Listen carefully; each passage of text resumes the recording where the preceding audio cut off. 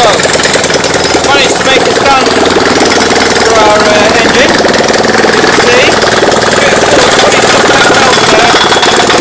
Can there. Uh, get out. Move around a bit. Obviously, it's still dancing. So uh, just trying to get it to stay in one place at the same time. But there you go. So mounted it basically, we mounted it on the air uh, cooler and alternator braces here on that side. And on this side, we mounted it on the engine mount, uh, the exhaust mount. And it's quite good. I mean, I can feel it kicking the ground big time. Feel it through the ground. it's not perfectly straight, the, the ground. But, uh, yeah. It's running okay. See the tank now. It's always hidden under the table I was running it from. But, okay, so we got the engine mounted now. So the next stage, I've tuned it up pretty well.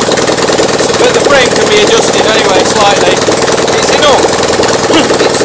so that the uh, crankshaft is as horizontal as I can make it just by guessing. And, um, and it's not as, it's uh, parallel to the bars. Slightly out, but it won't be much because obviously when I fit that I can compensate for it. Yeah. Obviously we still need a bit of exhaust to it. Yeah. Found a, yeah. it's found a bit of sloping ground that it's walking down again. There we go. it's vibrating still quite badly, obviously. Just needs uh, something to stop it from walking about basically. But there it is, it's on a, a frame. and obviously it's still working well, you know. Turn it down a bit maybe. There we go. Now it's stopped wobbling. A little bit of slight vibration, but that's not too bad. yeah.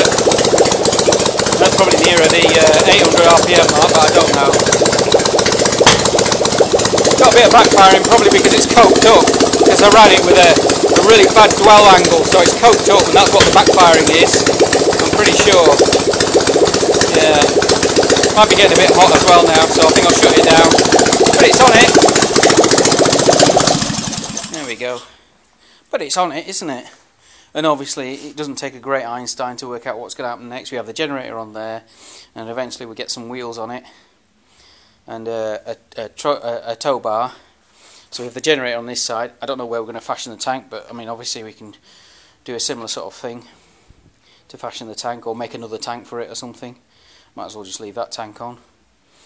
And then, uh, yeah, that's the beast. Fastened down. There's a bit of clearance. I left a bit of clearance underneath the uh, sump. As you can see, it's not actually on the ground. and I think the issue I've got now is because the uh, because the exhaust mounts are studs, means if I actually put a crossbar on it, uh, then I'll never be able to get it off, I don't think. Simply because this side, although this side's got bolts on, I can take the bolts on and this will come out, upwards obviously, but this side won't, because the studs will stop it from coming out. Whereas now I can take it off, because I can just simply take it off one side at a time. So, uh, I don't know. Maybe I'll, uh, I'll put a cross member on, but bolt it on instead so I can remove it. Because it probably would benefit from having a cross member. It's a bit too much vibration there. But it's there, isn't it? And it's doing it. That's a week. I am pretty pleased with that. Yep, there we go. So that's the first stage anyway. That's the whole thing basically. Isn't it? You got your tank. Don't know where I'm going to put the tank. Yep, okay, bye.